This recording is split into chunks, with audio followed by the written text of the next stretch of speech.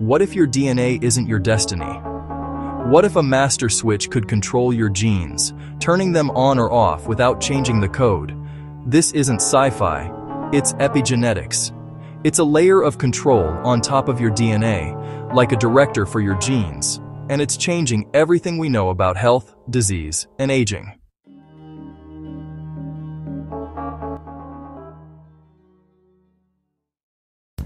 Here's the puzzle. Every cell in your body has the same DNA, so how can a brain cell and a skin cell be so different? The answer is the epigenome, a set of chemical tags that tell genes when to turn on or off.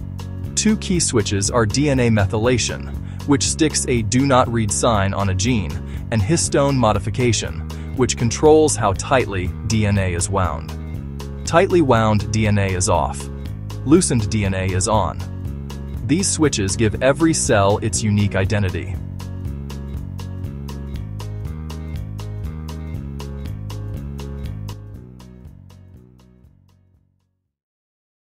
What flips these switches? Your environment, your diet, stress levels, and sleep all send signals that change your epigenome. In one experiment, a mother mouse's diet alone turned off a harmful gene in her pups, making them healthy instead of sick.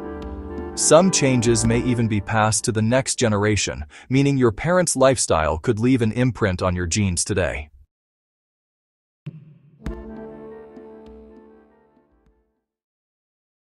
When these switches fail, it can cause disease. Cancer cells hijack the system, silencing protective genes and activating growth genes.